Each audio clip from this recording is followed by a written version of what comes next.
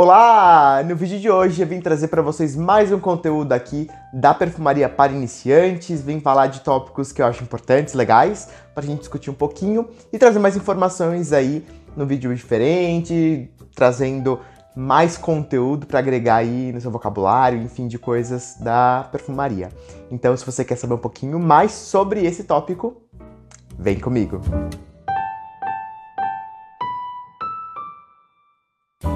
Bom, pessoal, para começar meu vídeo, os mesmos recadinhos de sempre, se você não está inscrito no meu canal, clique aqui embaixo no inscrever-se. Se você já é inscrito, clica no sininho de notificação para você ficar antenado sobre novos vídeos. E se você ainda não me segue no Instagram, me segue lá no arroba o Caio Meca. Bom, o vídeo de hoje, como eu disse no começo, é mais um para coletânea aí de perfumaria para iniciantes, essa série de vídeos bem legal que eu coloquei aqui no canal, que eu tenho muito orgulho de falar, né, assim, de trazer mais conteúdo para vocês de uma forma diferenciada, rica assim de conteúdo, eu faço uma pesquisa maior, enfim.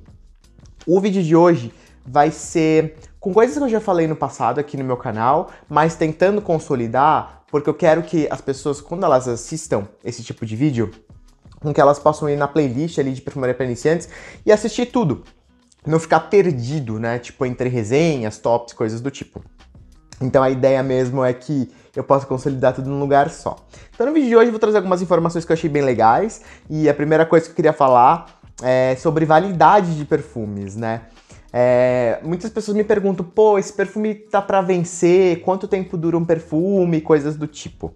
Quando você pega um perfume, na embalagem normalmente ele mostra de 2 a 3 anos a validade dele a partir do momento de fabricação. É, isso é meio que um, um padrão adaptado, né? Um padrão é, usado para que a gente realmente mantenha os perfumes ali na normalidade, né? Para que ele não tenha muitas oscilações. Mas eu diria que isso é meio que um play safe, assim. O perfume não dura só dois, três anos, ele dura muito mais que isso.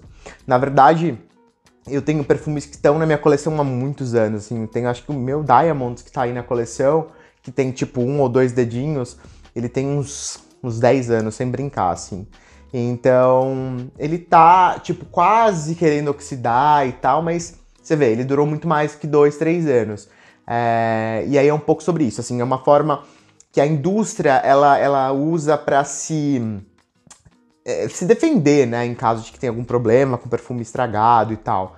Então ela recomenda de 2 a 3 anos, mas o perfume dura mais do que isso. Então tenha em mente que desde que você guarde perfume longe daqueles fatores clássicos de destruição, né? Umidade, temperatura, é, enfim, o banheiro, por exemplo, né? Que tem a claridade também. É, se você manter o perfume longe dessas condições, o perfume vai durar muito mais, anos e anos na sua coleção e você vai continuar sendo feliz com ele. Outra coisa que eu queria falar aqui também, como segundo ponto desse vídeo, é falar sobre fixadores, né? Eu lembro que em algum momento, assim, acho que foi minha irmã, se eu não me engano, ela falou: Ah, Será que não tem como a gente comprar um fixador para colocar no meu perfume para ele durar um pouco mais? E aí a gente entra um pouco sobre essa questão dos fixadores, né? As pessoas elas têm um pouco a ideia de que o fixador é como um ingrediente químico adicionado, como um corante adicionado ali na fórmula, e que ele tenha um poder de segurar a evaporação da fragrância. E não é bem assim que funciona. Os fixadores que a gente tem no mercado, que é, na verdade nada mais são do que óleos essenciais ou compostos aromáticos da própria composição do perfume usados é, de forma com que eles segurem a evaporação, mas eles fazem parte da composição. Então, por exemplo, se a gente quer deixar um perfume mais duradouro, a gente pode usar, por exemplo, musk. A gente pode usar, por exemplo, é, uma baunilha, um âmbar, coisas mais densas que seguram a evaporação. E, é isso, assim, na verdade, se você pegar um perfume mega fresco, não existe milagre que faça com que perfume dure, entendeu? O perfume é fresco, ele tem a composição fresca, ele tem o período de evaporação, ele tem a estrutura molecular dele, ele vai evaporar porque ele é um perfume fresco. Não tem nada que você possa mudar, entendeu? A menos que a composição seja mais densa, mais amadeirada, mais abaunilhada, aí sim o perfume vai ter é, uma densidade maior, ele vai ser mais pesado mesmo, e ele vai durar mais na sua pele. Então é um pouco é, da parte de formulação. Então não existe esse ingrediente, o que as empresas vendem. Eu já vi muitas essas é, empresas de essências no Brasil vendem um fixador Galaxolid, um fixador Musk. E isso nada mais é do que uma essência de musk, uma essência de Galaxolid, que ajuda né, a segurar um pouco, mas ele muda a estrutura do perfume, ele muda mesmo, se o perfume virar outro. Ele faz parte da composição aromática, então não existe milagre, é só a composição em si que forma aí um perfume que vai durar ou não, de acordo com o que o perfumista quer. Outra coisa que eu queria falar também para vocês é sobre perfumaria nacional, né? Eu já falei isso em outros vídeos, talvez queria trazer um pouco para esse tópico, né? É, de perfumaria para iniciantes, para falar um pouco por que, que as empresas nacionais muitas vezes classificam os perfumes como desodorante colônia ou coisas do tipo. É, e seria. E aí as pessoas pensam, né? Nossa, mas será que no Brasil não tem perfume? É só desodorante colônia e é tudo meio fraco e tal? E não.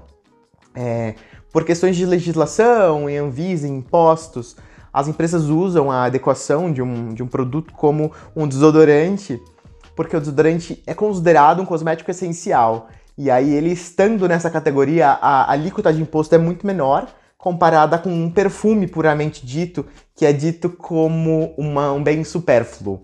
Então, se a gente falar, putz, o perfume você não precisa de um perfume para viver, mas um desodorante sim, é, então a alíquota de imposto é muito menor para o desodorante. Então é isso. As empresas, elas, elas, É um pulo do gato, né? Elas colocam lá desodorante colônia e aí elas pagam menos imposto e aí elas conseguem de alguma forma é, comercializar os perfumes com preço mais justo, né? É, e aí seria isso. Então, se você vê um desodorante colônia, normalmente ele se equipara a um, um eau de toilette, né? E enquanto um, um Del Parfum se, se qualifica aí como um, um eau de parfum. Então, mais ou menos essa a forma que eu queria explicar, assim, que muitas vezes as pessoas me perguntam e eu tipo, não, gente, é, é puramente legislação. Perfumaria brasileira ou, enfim, nacional não, é, não dura menos do que a importada, não tem menos ali na fórmula, não. Bom, e o último, último tópico que eu trouxe aqui, só pra gente falar rapidinho, seria sobre perfumes individuais, né? Assim, perfume muda de pessoa para pessoa. Eu já vi muitas, muitos casos de pessoas que, sei lá, que elas sentiam perfume em alguém e, e daí elas compravam perfume e não tinham a mesma experiência que essa pessoa, né? E daí me veio assim, putz, como explicar isso de uma forma bem clara, né? Então, assim, perfume muda de pessoa para pessoa? Sim, o perfume muda de pessoa para pessoa. É um, um tópico complexo. Eu gostaria de abordar isso com mais detalhes no próximo vídeo, assim, com um pouco de mais tempo. Mas o perfume ele tem uma estrutura, né? Ele tem estrutura de moléculas, a estrutura de é, compostos aromáticos que, que tem uma estrutura de evolução, né, ali. É, e ele evapora de acordo com muitos fatores. Então, com temperatura, com a forma com que você aplicou, com vento, com, com todas as coisas que estão acontecendo no teu meio, faz com que o perfume evapore.